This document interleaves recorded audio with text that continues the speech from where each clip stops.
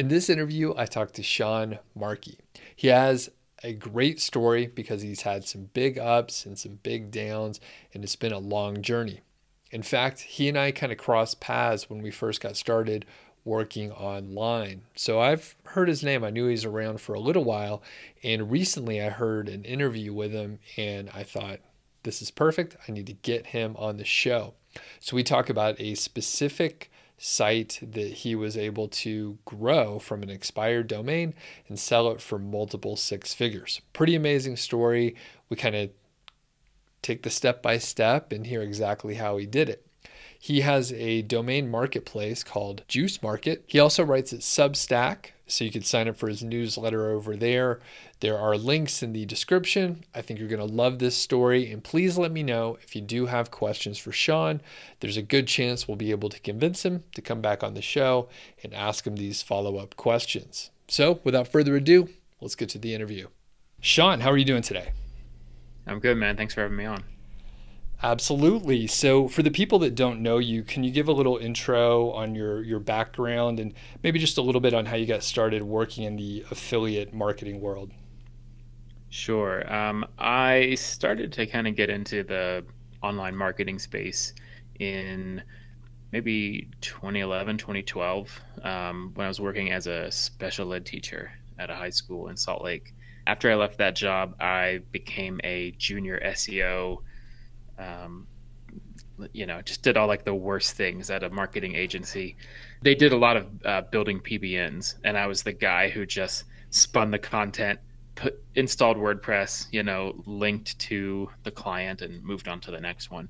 Uh, and that that's kind of how I got really involved in uh, kind of what I do now, which is finding domains and building sites on them. Um, I tried to run a, a SEO agency that failed. Um, not a good agency owner, and then I worked at Supremacy SEO, which became Smash Digital for a couple years um, before finally going out on my own and just building out um, affiliate websites, which is awesome. A big part of what I do now.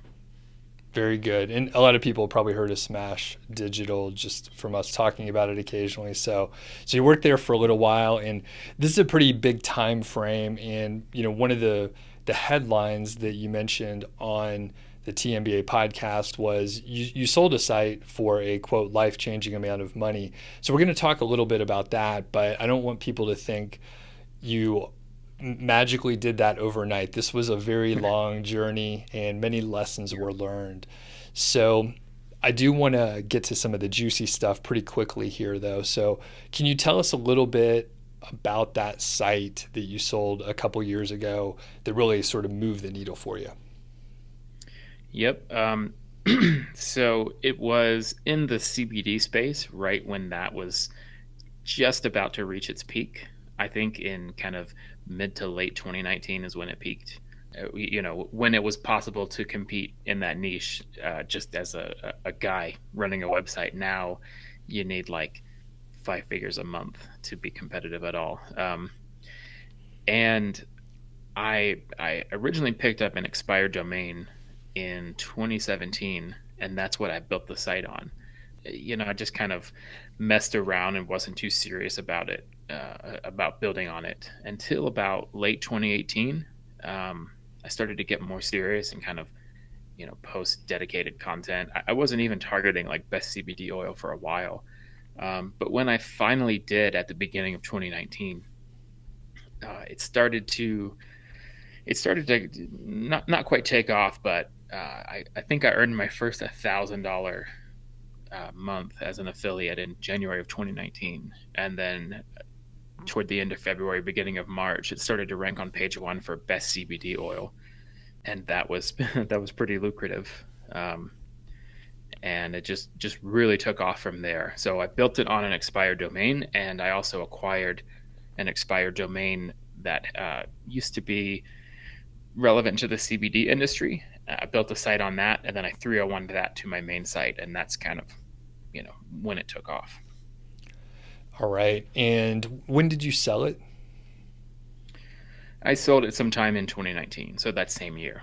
Okay, great. So from January was making like a thousand bucks a month, and then it really skyrocketed. You obviously 301 redirected a expired domain that was relevant. Do you happen to remember the metrics for the the couple domains that you were working with? Um, I think Roughly. the one I, yeah, the one I built the site on was like maybe a DR 15 or 20 and then the site I 301 was maybe like a 20 to 30. Mm, okay. Probably like 100 referring domains, maybe. Had a lot okay. of industry relevant links, which is what helped. Awesome. All right. And then you started to rank on the first page for probably one of the most profitable terms in that niche. And what did you think, right? You, you had been working on affiliate marketing for a few years, you've had ups and downs, and then you get some traction and you're doing things that I assumed that you had tried before. And this time it really worked. So, just like mentally, what did that do for you? Um, well, it, it's funny. Like, I, I wasn't really trying to be an affiliate bef- before all this happened. Um, you know, like I said, I, I, tried to, to run an agency for a bit. Um, and then I, I, think I spent a lot of 2018 acquiring sites kind of in the cannabis CBD niche because I was like, oh, I'll be, I don't know, I thought I'd be like a, a cannabis SEO agency again. I was like, okay, I know expired domains, I have experience with PBNs, like I'll just spin up like this super valuable PBN just in the cannabis space. Like there can't be a lot of those out there, uh, and I can charge some good money to put some posts there. Um, but what ended up happening is that one one of those domains that I picked up, you know, like I said, just just kind of took off when I got serious with it, and I I didn't even build a lot of the links on the sites I acquired. It, it, it was all I mean, it, it, wasn't quite accidental, but it was entirely unexpected. Um, to suddenly, you know, uh, put up a couple reviews of CBD companies and and started making a couple hundred dollars in late 2018, I was like, oh, this is what people are. You know, this is why people do this. Like that's awesome.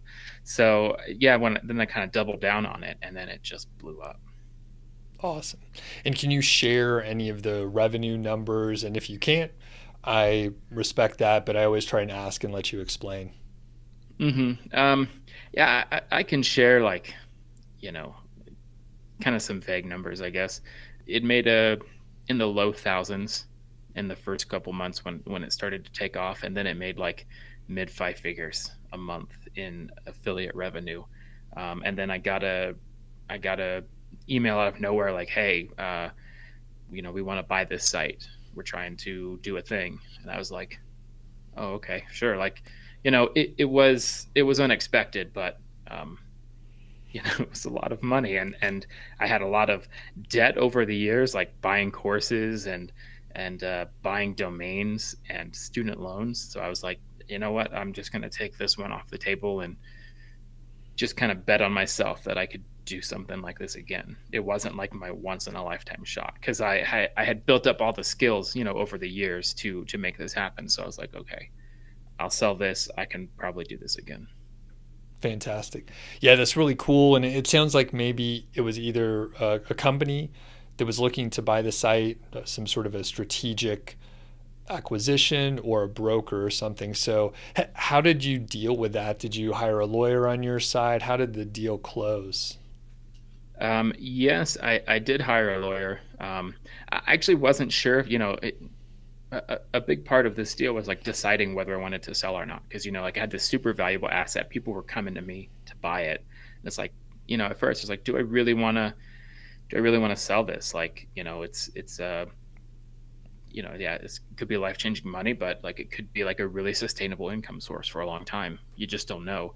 Uh, and I talked to several friends, you know, who, who have been this, through this before, like like Travis Jamison, uh, close friend of mine now, uh, and he was like, I would sell it. And a couple other people said the same thing. So I was like, all right, let's do it. Um, yeah, I, I, hired a lawyer. I actually hired um, the from the team at revisionlegal.com. They have a lot of experience in the space, and uh, they just helped me navigate the contract. You know, it's the first time I see in this, and there were all kinds of crazy stuff I never thought about before in there. So they they walked me through it, and um, yeah, they helped Fantastic. me with the deal. So you ran an agency for a little while, and I've seen this happen a couple times where you know sometimes people just don't like running an agency or it didn't work out for some reason. But along the way, you end up learning skills that allow you to instead of like building a site that takes a while to earn some money, you can run a service business and earn pretty quickly. Now I'm curious, people can probably learn from your mistakes.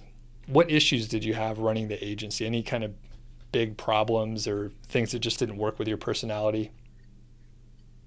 Yeah, um, I'm not the most organized person ever. Um, that's not a great. That's not you know a, a, great thing for someone who's trying to run a bunch of client uh, campaigns to to be going through. Also, this was like fairly early on in my like, you know, quit my job. I can I can I'll figure it out. You know, like uh, I I I did it the stupid way, which is just like jumping into it with both feet and leaving a paying job and uh, being poor for a while. So so the, it was some hard lessons. But for me, it was just about like not quite having the experience. Like you know, if I'm talking to a big brand with a decent budget and I get on the phone with them, they could probably tell like, oh, this guy doesn't really know what he's doing. You know, I think that came through, and and yeah, just just not having a lot of confidence. Um, you know, tr- trying to trying to price these services for what they're worth. You know, I was it was just like, oh, uh, three hundred dollars for some work. Yeah, let's you know let's do it. We got nothing else going on. So it was constantly scraping the bottom of the barrel instead of like being really clear about like this is how we can help. This is our value proposition. This is how much it costs. Like, do you want us to help you out? Um, actually, when I helped run the um, the agency that Travis runs, which is now Smash Digital, like like that was a huge helpful thing. Like like seeing seeing how he ran an agency successfully, seeing how he set things up, you know, learning link building strategies from him. Um, it, it was way it was way easier to hop on the phone with someone that knew you know Travis was the real deal and they were interested in those links and so you know over the course of a hundred 200 uh, phone calls with with clients for Smash, I, I, got a lot more confident, and I could talk about this stuff a lot, um, you know, for, from a real place of authority. And so I think if I started an agency now, having gone through that, it would be a, a way different experience. So definitely um, good to kind of put in the work and, and pay your dues and, and maybe like work with someone who's successful before just being like, I'm smart, I'll figure it out. because you might not. I didn't. Right.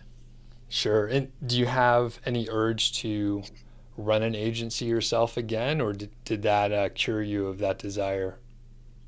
No, I, am stupid, so I'm thinking about doing it again. Um, I, I really would like to do something in the cannabis space specifically because that's, I mean, that's where all my expertise is uh, having built out a bunch of sites and and you know now I've made a bunch of contacts I've actually done some work for people. So it would be a lot easier to say hey here's what we can do here's what we've done before here's what some smart people you've heard of have to say about our work. And this is the price like to you know take it or leave it. But if you leave it maybe your competitor's not and that'll suck for you. So you know a lot more confidence this time around. I, I think I could be a little more successful with it and you've been inside a you know very successful agency so you know maybe how to structure the deal so it's profitable and there's enough margin in place i i think that mm-hmm. is an issue sometimes with you know someone right out of the gate it's maybe yeah. relatively inexpensive for you to implement something but the value is super high on the other side and you're not mm-hmm. you're not closing that gap so right and cool. and just being like oh, you know oh like yeah, we can do this work for two thousand dollars. Like, wow, someone's going to pay us two thousand dollars. That's a lot of money, but like, it's not when you have to buy content, you have to buy links, you have to pay people. Like, if you don't know your numbers and you don't really know what you're doing, like that that money goes quickly, and then you're you're in the red. Yep.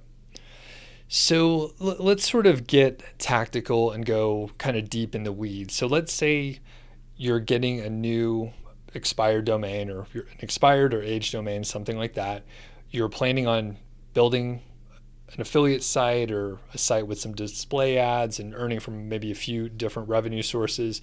So take us through that. What kind of metrics are you looking for on the domain? And then we'll kind of start leaning into the content and keyword research and some of those ideas. But first, the domain. What are you looking for? So the biggest thing I look for when I'm trying to, you know, find a domain that I can build on is, I mean, th- th- there's a couple of things. So first is, is it indexed? Like that's the first. Like if it's not indexed, um, you're just wasting your money. I think uh, buying something hoping to get it back in the index. You don't know if it got, uh, you know, uh, penalized in a past life. You don't know if there's a reason it's not indexed. So, um, like like once you found a domain you kind of like, that's the first thing that that I think you should look for. But I, I guess I should back up and say like before I start doing that, you, you want to find a domain that has a lot of authority already. You want to have a, a, a, domain that has a bunch of referring domains, you know? And the way that I find those, uh, usually they're at GoDaddy auctions because they just have the, the largest inventory.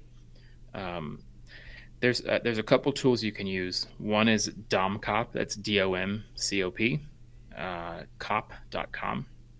And that, um, yeah, then there's another one called spamzilla.io. And both of those take like the entire list of domains that are expiring and they run it through a couple APIs. So they run it through like Moz, Majestic, you know, SimilarWeb, Alexa, and that allows you to take like the thousands and thousands of names that are expiring and kind of whittle it down to a, a more narrow focus. So you can actually you know sort through them and find one that works for you. Um, there, there's nothing really like you know oh it has to be at least dr10 and it has to have 50 referring domains. Nothing like that for me.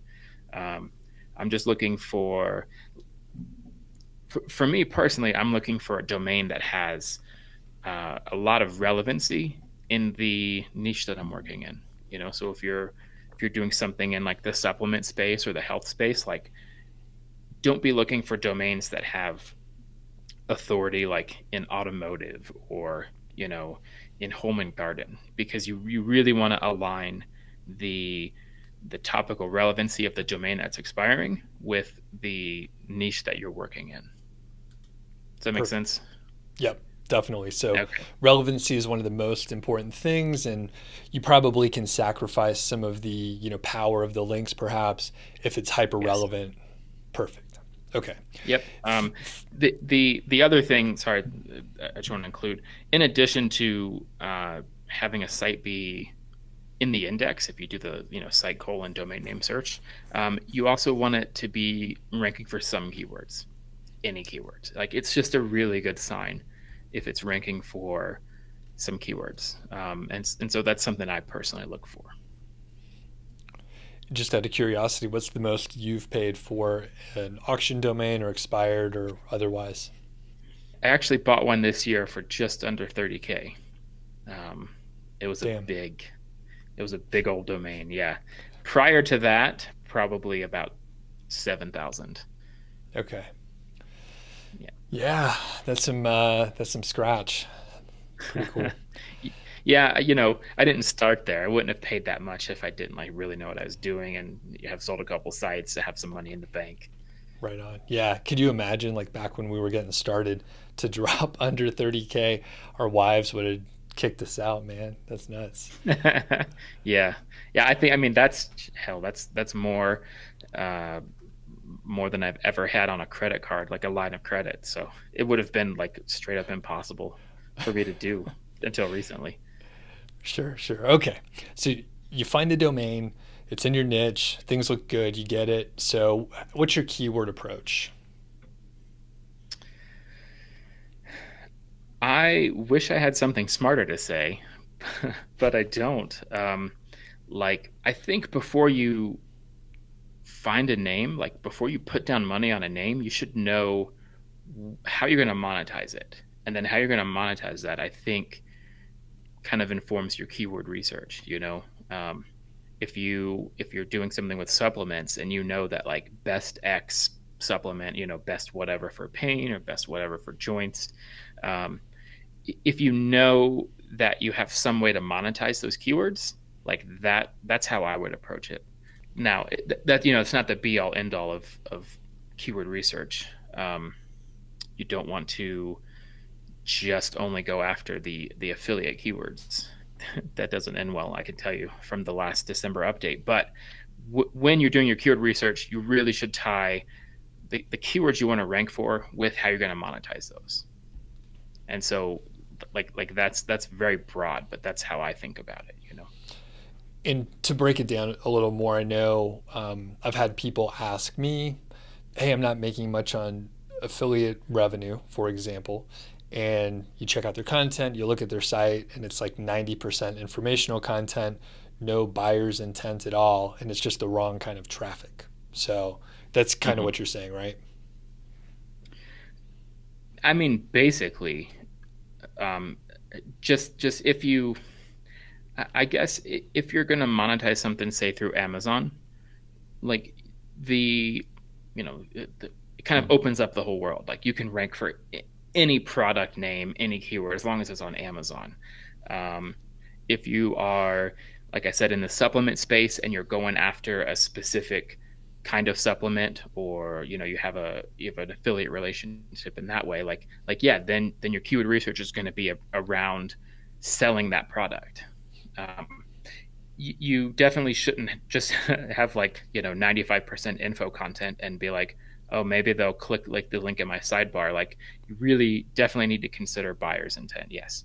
Um, after the the algorithm update last December, you don't want to have that in the other direction either, where it's 90% affiliate by this kind of keywords and 10% info content. So so yeah, like striking a better striking a better uh, balance between those is also important.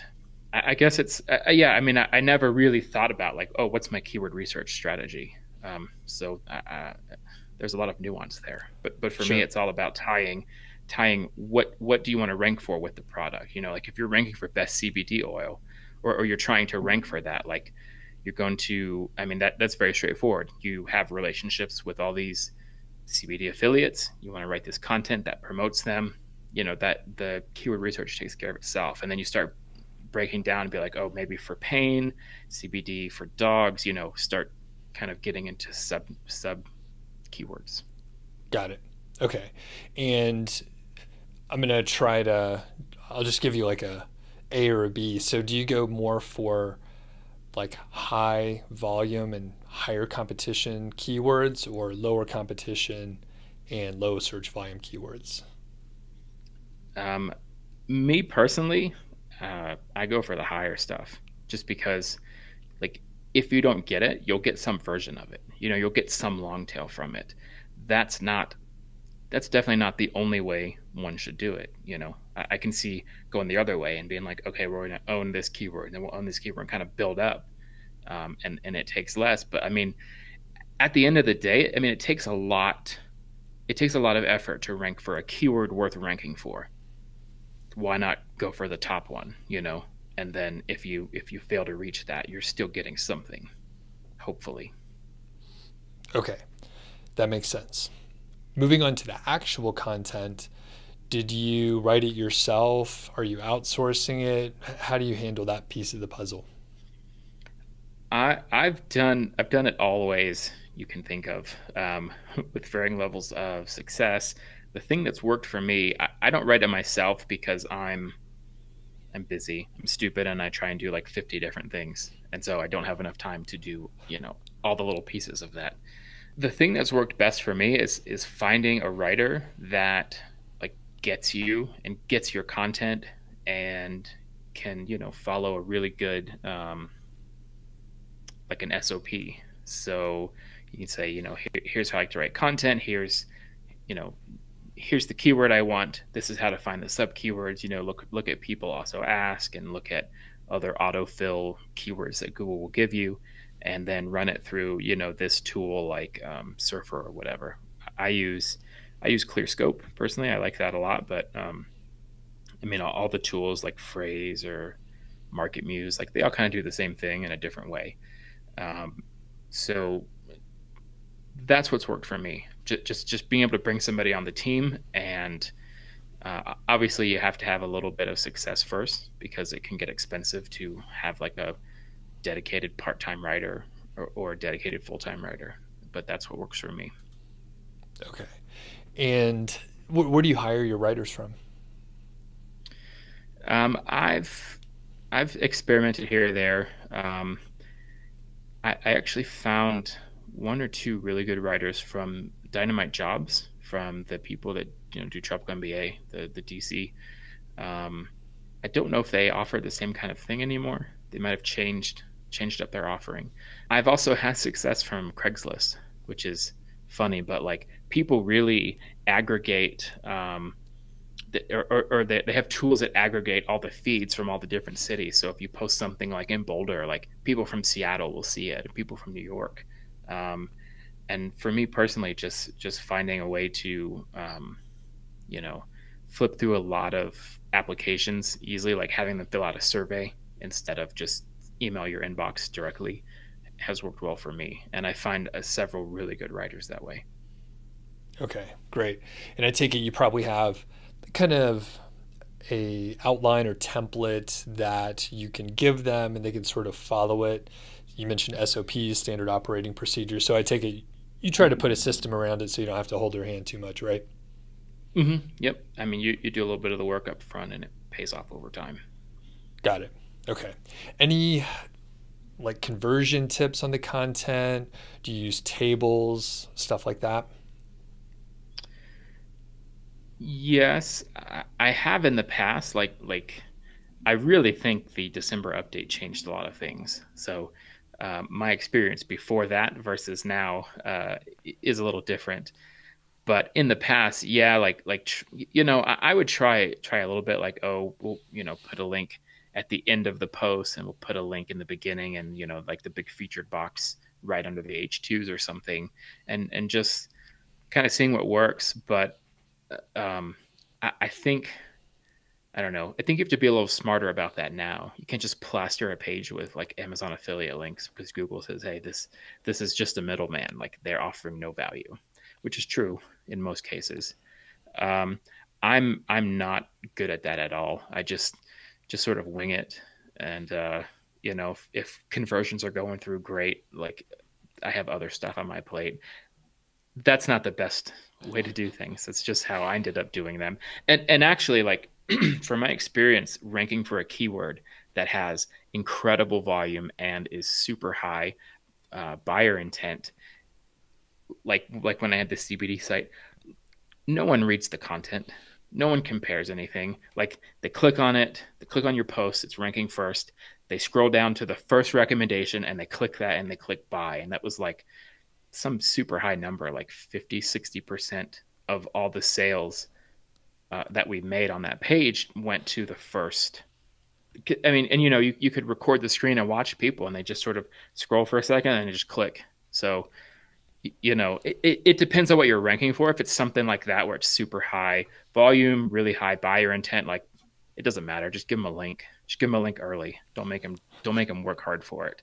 You know. But yeah. if, if you're if you're on something that has less buyer intent maybe and you have to really educate people then then it matters a little bit more sure and don't be too hard on yourself i'm kind of the same way it's like if we can get close enough for most mm-hmm. things most of the time yeah if the person is trying to buy that product you don't have to hit them over the head with like 50 million links on one page just give them a couple clear calls to action and make it easy for them mm-hmm. to click it so. And and really, like that brings up another point I, have thought about. Um, know know what you're good at and know what you're passionate about. Like from from doing all this work, I've come to see that like I I do not like scaling a site. I do not like making these little tiny you know tweaks that increase things by five percent or four percent or whatever. Like, ugh, that's boring. Like I want to I want to create the site from nothing and then I want to make it successful and then I want to sell it. I don't want to ever think about that stuff. And you know, that's not everyone's cup of tea. Like maybe some people are like not stoked about that work but can't wait to like start changing button colors and font sizes or something. That that's just not me. So I, I think there's a lot of value in knowing what you're passionate about when it comes to building when it comes to the life cycle of building and selling a site. That is brilliant. That's brilliant. Okay. You mentioned the December update, and I'm going to sort of reorder what I was going to do. I was going to ask you about link building next, but let's talk about the December update. So this is December of 2020. There was an algorithm update, and what what happened? Tell us about it. So I I, I woke up on the morning of I think it was the third, um, and like you know if you have an affiliate site that's getting traffic, like one of the first things you do in the morning probably is check your analytics, see how things are looking, and traffic was down like thirty percent that morning, and I was like, ooh, that's that's not great. Um, so I guess there's an algorithm update. You know, I got up, got to my computer, started seeing other people talking about that. Um, so over the course of the third and the fourth, as this was rolling out, and, and, Google announced it. I think I think Google announced it like the day before, so maybe I was aware of that. Um, it was just like, okay, I'm down 30 to 40 percent on my main site that brought in most of my money. Like that's not great, but you know that's what happens. Like that's what you sign up for if you're if you're trying to go after SEO. Um, you know, we'll we'll regroup and we'll figure out what it was targeting and we'll build back up. And then like a week later, I think no, not a week. It was like the seventh or the ninth, I guess. Um, traffic went down another like 80 or 90 percent from so for, for, for this specific site i was doing about 2500 visits a day um, and I was left with like maybe 200, 300 mm. visits a day. It was not great. And like you can maybe come back from 30 or 40%, but like 90% that, that's a big number to overcome. You know, I, I had a team of several people and, you know, I was pouring all the money back into growing these sites, buying another site, growing that, you know, trying to build a portfolio, which is fine when things are good, but like in the lean times, it's like, oh damn, like I'm way overexposed. You know, I got to make payroll for the next, and I you know I can cover this month and the next month, but there's no money coming in anymore. It it wasn't a great feeling. Um, yeah, that's that's I had maybe like three or four sites, and like three out of four got hit in some capacity, but the main site got hit by like ninety percent. So it was it was done. So, how did you regroup? Because we're a few months past it now. So, what's going on with these sites now, and how are you trying to recover them or not recover them?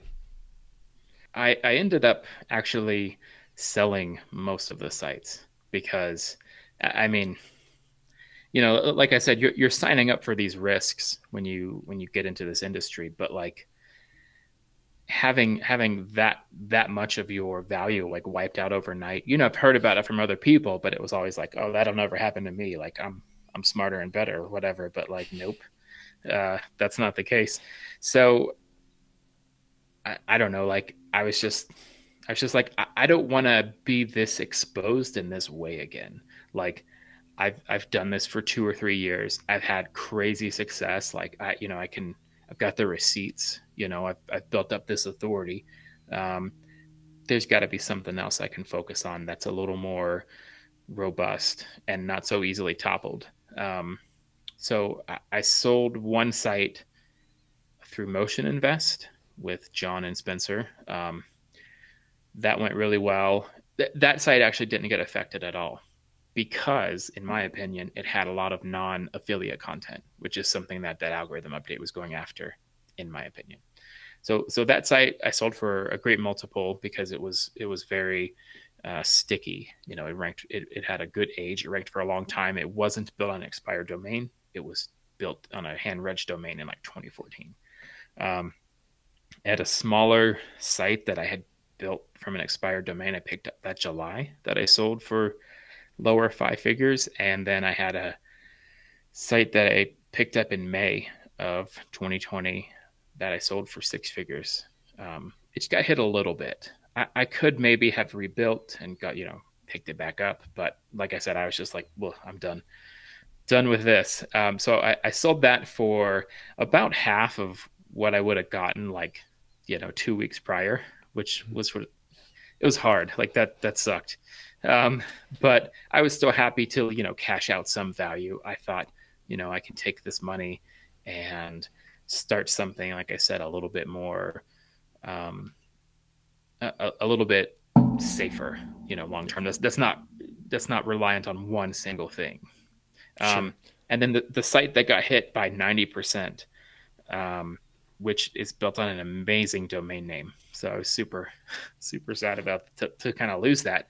Um, I, I heard, I think, on an interview on Niche Pursuits that this guy just 301 all the content off to another domain. And I was like, well, what if I got to lose? Um, so I tried that and it, it, worked.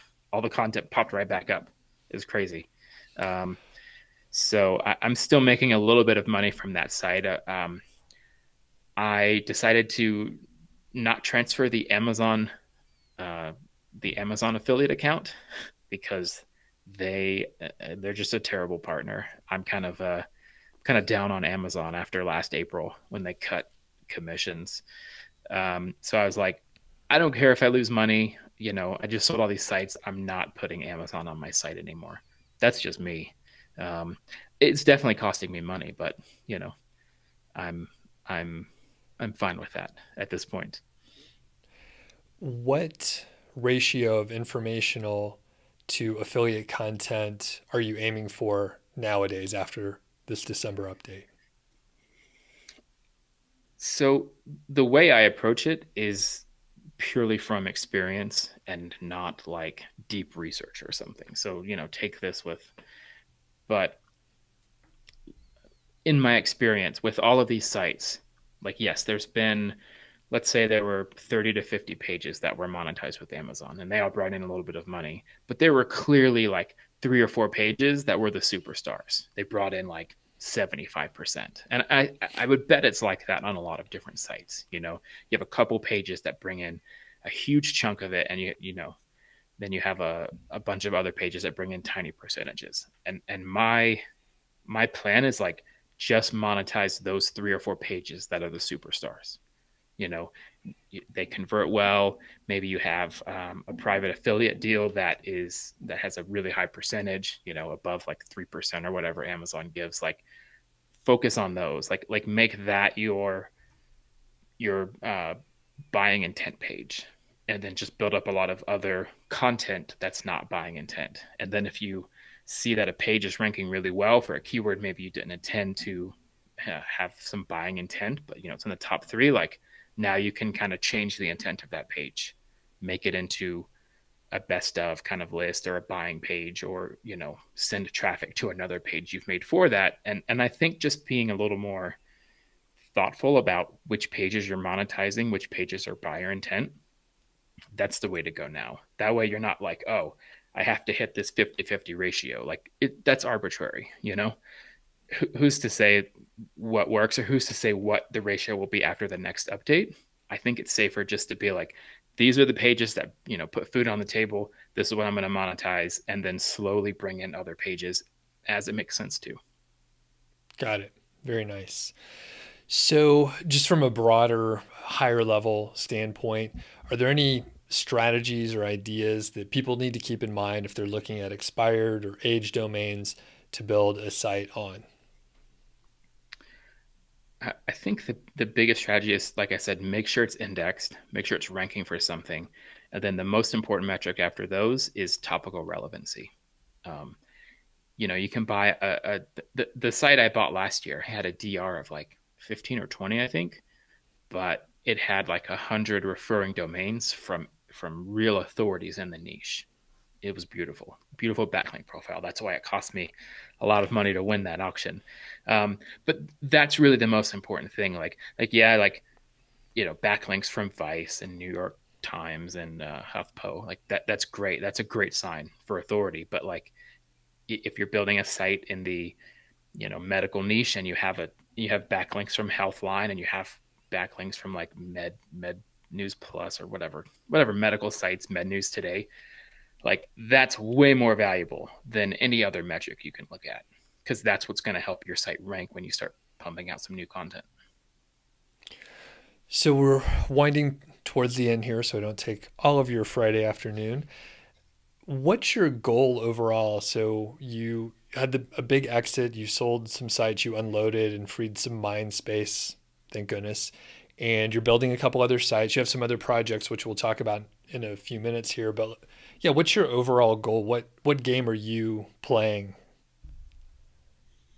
So right now, I I kind of I'm not putting too much attention on the affiliate sites that I have, just because you know, like in the way I think about it, like the way I've approached those sites, there was no moat. Like it doesn't matter to Google whether they serve up my site or serve up someone else's site if we're all just saying these are the best headphones, you know? Like it, it's not really defensible. So um and and there are I think ways to make that defensible if you know if you're building out a portfolio of sites, but the way I was doing it, it was not. So um I feel like I've gotten a lot from building affiliate sites myself, and um, now I'm trying to do something else. One of the sites I'm building out is like a like a B2B play in the cannabis space, which I don't think there's a lot of, you know, it's not very it's not very competitive in the way that like CBD oil or something is. So uh, aside from you know talking about expired domains um, and a couple of the things we'll talk about in a minute. The main thing I'm focused on is building out like a like a cannabis job board directory kind of site. Great. And I think I mean it's just going to be a bigger industry as it's legalized in different places. I'm in the great state of Colorado. So it's mm-hmm. freely freely available, mm-hmm. and a lot of other states are in the same boat. So I imagine like every state is gonna eventually come around, and maybe you know 50 years for some of the states in the South where I'm from. But yeah, I think that's a great idea. Awesome. Well, let's talk about some of the new projects you got going on. I think some really good fits for my audience. I think people are going to be really interested. So tell us about uh, one of these new endeavors you got going on. Sure. Um, so one of the things I created uh, in partnership with Travis Travis Jamison, who I mentioned earlier, um, it's a domain name marketplace called Juice Market. It's at juicemarket.com, and it's just a place where you can go to buy or sell a domain that has a history that you know that has referring domains that has some good topical relevancy. Um, there's there's competitors I guess competitors out there like Odys, ODYS.global. Um, they're they're a place where you can go and buy a domain um, that has a, the same kind of history, but their thing is they buy the domains and then they sell them to you. And what we built was like like a true marketplace. Like if you have two or three domains you picked up, or you know you started to build an affiliate uh, site on, but really didn't you know for whatever reason it didn't work out. But you know there's some links there. Like there's some there's some value. Like you can go to this marketplace and list it for sale and sell it to someone that understands that value and is looking for you know those kind of names.